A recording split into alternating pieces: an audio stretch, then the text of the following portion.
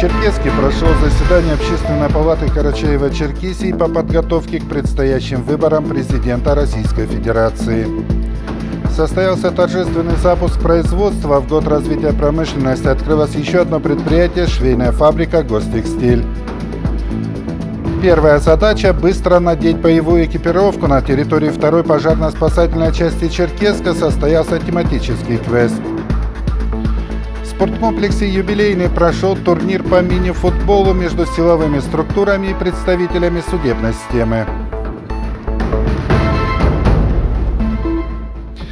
Здравствуйте! На телеканале «Россия-24» информационный выпуск «Вести Карачаева-Черкесия». С вами Мурат Джинкюзов.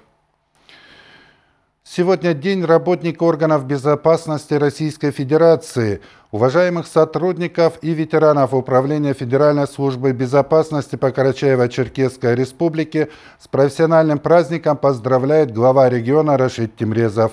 Самоотверженность, мужество, профессионализм, ответственность, которые вы демонстрируете в сложных ситуациях, являются необходимыми качествами работы сотрудника органов безопасности и вашим личным вкладом в обеспечение безопасности нашего Отечества. Вашу эффективную деятельность, направленную на борьбу с терроризмом, экстремизмом, преступностью и коррупцией, отмечает руководство страны и граждане России – в современных реалиях круг ваших задач значительно расширился, и вы успешно с ними справляетесь. Мы благодарим вас за преданное служение Родине и желаем вам крепкого здоровья, благополучия и новых профессиональных достижений. Пусть ваша служба будет сопровождаться успехом и победами. 17 марта 2024 года состоятся выборы президента Российской Федерации. Согласно законодательству, общественный контроль за выборами осуществляется общественными палатами регионов – в Черкеске прошло заседание Общественной палаты Карачаева-Черкесии по подготовке к предстоящему событию. На нем обсудили комплекс мер, направленных на обеспечение открытости выборного процесса. В штабе Общественной палаты сформированы и уже осуществляют работу следующие группы – информационная, юридическая, мониторинговая, экспертная и мобильная – Руководители групп доложили о проведенной работе и выразили готовность содействовать осуществлению всех избирательных прав граждан при проведении выборов. Мы все с вами активно работаем и по существу э, эту работу продолжаем уже в течение года. Общественный штаб, который активно э, работал весь сентябрь месяц, а также вел подготовку общественных наблюдателей, начиная с июня месяца. И эксперты все работали у нас, спасибо им большое, начиная с мая месяца. Поэтому мы с вами сейчас Э, только перезагружаем нашу работу и начинаем новый этап работы общественного штаба. В Карачаево-Черкесии в год развития промышленности открылось еще одно значимое предприятие. Расположенная в региональной столице, фабрика «Гостекстиль» выполняет в том числе госконтракты Торжественный запуск прошел при участии министра промышленности, энергетики и транспорта Республики Мурата Гапова. Подробности в сюжете Артура Мхце. Педагог по образованию Фатима Уздинова с детства любила шить. Спустя годы хобби наконец-то стало для нее специальностью. Я сама шью дома вещи, одежду себе шью, детям шила. А когда открыли этот, эту фабрику, это предприятие, я пришла посмотреть, что тут но станки новые, я впервые столкнулась с этими станками, э, машинами. Ну, мне понравилось. В Карачаево-Черкесии много внимания уделяется промышленности, а 2023 и вовсе тематический год. Открыты несколько предприятий, которые с первых дней существования доказали значимость выбранных направлений. Фабрика «Гостекстиль» из их числа – Здесь трудятся несколько десятков человек, причем не только жители нашей республики, но и выходцы из дальнего зарубежья. При необходимости мощности могут быть увеличены в соответствии с запросами заказчиков. Условия позволяют. У нас э, направление сейчас на оборону, ВСВО, военную форму шьем и бейсболки. А сколько э, технически можно сделать, выполнить и кто это делает? А, ну, например, э, Форму мы можем сшивать от 50 комплектов за день. Это только стартовая. а так в дальнейшем будем расширять количество. А бейсболки можем делать от 500 штук в день. Современное оборудование, грамотно налаженный технологический процесс, просторные рабочие места позволяют персоналу фабрики беспокоиться лишь о качестве продукции и сроках выполнения заказов, в том числе от регионального Минпрома. Участие в торжественном запуске производства приняли представители исполнительной и законодательной власти в республике. Это очень хорошее событие, тем более, что оно происходит а, в год, объявленный Рашидом Борисовичем Тербезовым годом развития промышленности. А, здесь на сегодняшний день работают до 50 человек. При выходе на проектную мощность будет работать 150 человек. Все это неизменно будет вносить вклад в развитие нашей экономики. И вот мы сегодня видим полное импортное замещение. Шикарно, молодцы. Хочется пожелать ребятам дальнейших успехов, завоевания рынка. Пошив спецодежды – важнейшая составляющая производственного процесса. Руководство фабрики понимает, какая ответственность возложена на коллектив. Здесь стараются выполнять все необходимое качественно и в срок. Законодатели почетными грамотами отметили вклад фабрик «Гостекстиль» и «Красный Восток» в развитие промышленности в регионе. Артур Мухце, Михак Аркелян, Вести, Карачаево-Черкесия. Под председательством заместителя начальника управления Росгвардии по Карачаево-Черкесской республике Эдуарда Чумаева в региональном управлении вневедомственной охраны состоялось совещание с должностными лицами подразделения охраны юридических лиц и подразделений ведомственной охраны. С докладом о результатах реализации мероприятий по осуществлению контроля за деятельностью подразделения охраны в 2023 году выступил начальник отделения государственного контроля территории территориального управления Росгвардии Магомед Атабиев.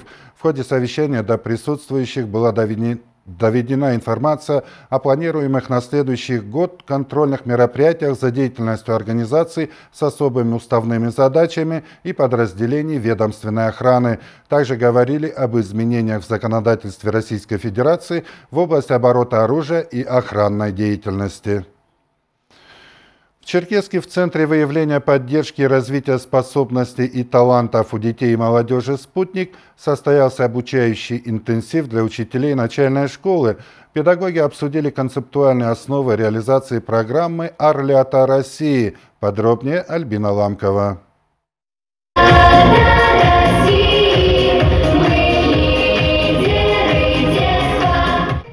Социальной активности учащихся начальных классов Орлята России направлена в первую очередь на развитие, поддержание интереса к учебным и внеурочным видам деятельности, формирование социально значимых качеств личности обучающихся, ключевых базовых ценностей, таких как родина, семья, природа, дружба, труды и милосердие. Последние 30 лет после э, известных нам всем исторических событий не хватало нам той идеи, вокруг которой бы сплотили учились дети, родители и педагоги. Вот программа «Орлята России» – это вот то самое, наверное, та самая изюминка, которая сейчас э, у моих коллег-педагогов ассоциируется с программой «Октября советское время». То есть здесь те же самые э, направления работы, то есть мы признаем, что советская система воспитания, она была самая лучшая. «Орлята России» – интересный и увлекательный проект. Пройдя семь образовательных треков, учебный год наполняется полезными делами. Каждый из них значим для детей. Ребята учатся выстраивать отношения в команде, примерять на себя разные роли, в том числе и роль руководителя-лидера. Учатся бережно относиться к природе, знакомиться с историей страны, города, семьи, изучать семейные реликвии. Учатся быть волонтерами и организаторами добрых и полезных дел. Прежде всего, программа «Орлята России» направлена научить ребенка работать в коллективе, уважать рядом стоящего, слышать, слушать его и работать над общей темой, отметила Людмила Барлакова. Практикующие учителя программы «Орлята России» рассказали на семинаре о том, как проходит ее реализация вместе с детьми на практике. Многие из них прошли обучение на базе Всероссийского центра «Орленок». Им есть что рассказать коллегам. В программе «Орлята России» уже зарегистрировано 800 учителей начальной школы из нашей республики. 17-я гимназия тоже приняла работу по трекам «Орлята России». Ребятам очень интересно принимать участие в играх, а, в квестах. Они с удовольствием включаются в работу, придумывают какие-то новые задания, а самое главное, они реализуют все свои внутренние возможности. Изменилось ваше отношение к работе? Да, конечно, стало работать гораздо интереснее, когда дети сами предлагают а, какие-то мероприятия, какие-то квесты, какие-то игры, приносят какие-то новые задания, задачи. Конечно же, нам, педагогам, и интереснее стало легче работать. Альбина Ламкова, Олег Малхожев, Вести, Карачаева-Черкесия. В преддверии Дня пожарной охраны России на территории второй пожарно-спасательной части Черкеска состоялся квест. Для участников мероприятия огнеборцы подготовили небольшое количество заданий. Легко ли облачаться в полную боевую экипировку пожарного? Примерила на себя роль огнеборца Альбина Ламкова. Это огневая одежда пожарного. Время, за которое он должен одеться, составляет 20 секунд. Идеал 17 секунд. Но поверьте, это очень сложно сделать. Она очень тяжелая. Естественно, не похожа на нашу повседневную одежду. Вес обмундирования со всей экипировкой составляет около 30 килограммов. Надеть журналистам боевую одежду пожарного понадобилось больше времени. Для человека нетренированного дело не из простых. А с какого раза получается одеться хотя бы за минуту?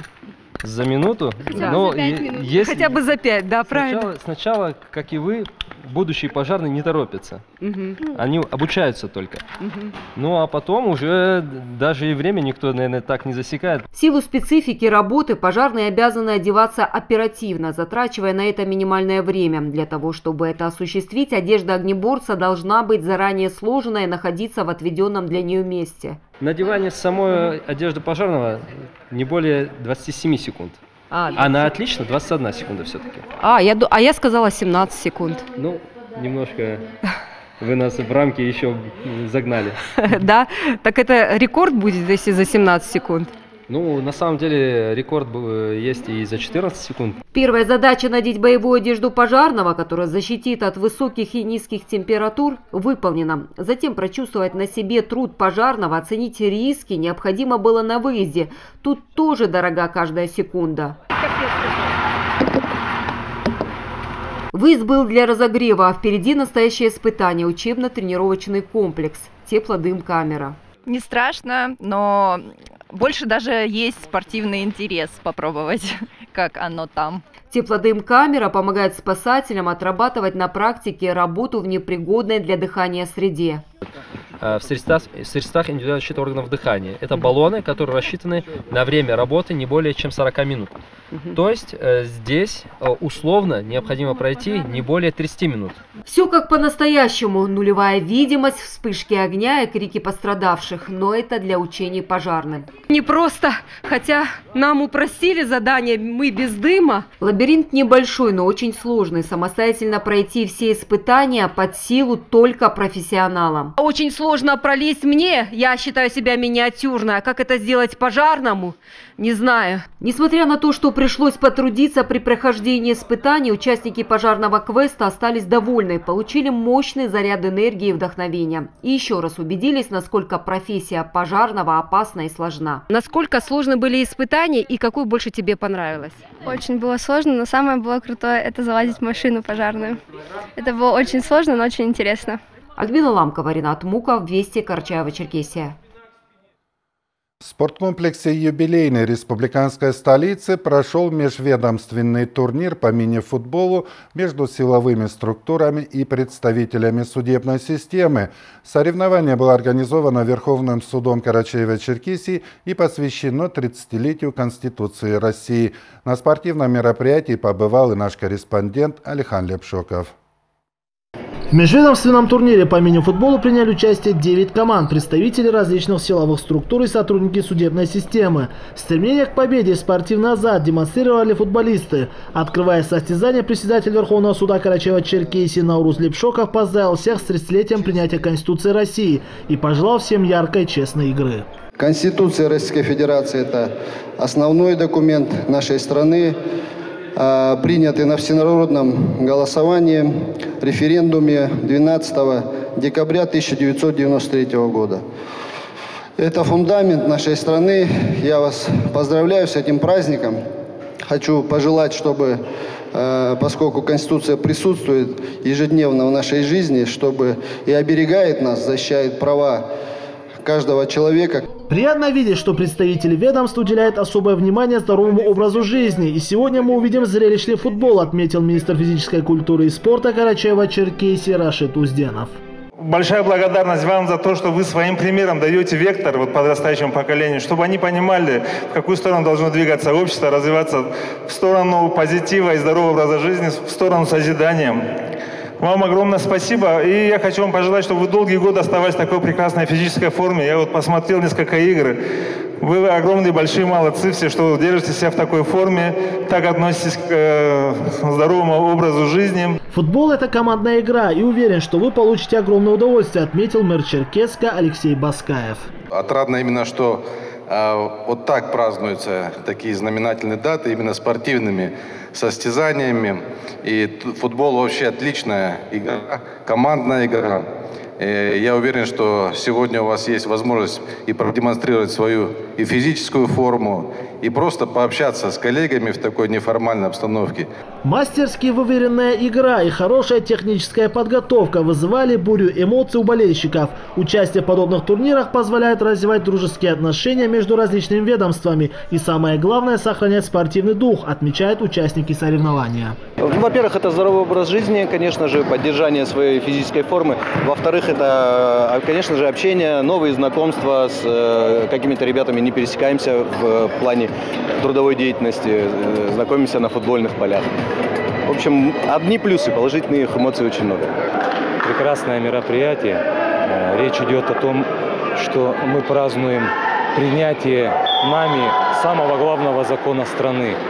Так я желаю нам всем, чтобы э, права граждан, простых людей чтились и соблюдались в нашей стране на высшем уровне. В итоге победителем межведомственного турнира стала команда управления Росгвардии Республики, второе место у судебной системы и на третьем футболисты погрануправления ФСБ. Алихан Лепшоков, Али Бастанов, Вести Карачева-Черкесия. На этом наш выпуск завершен. Далее смотрите нашу постоянную рубрику «Сила права» с Белой Джазаевой.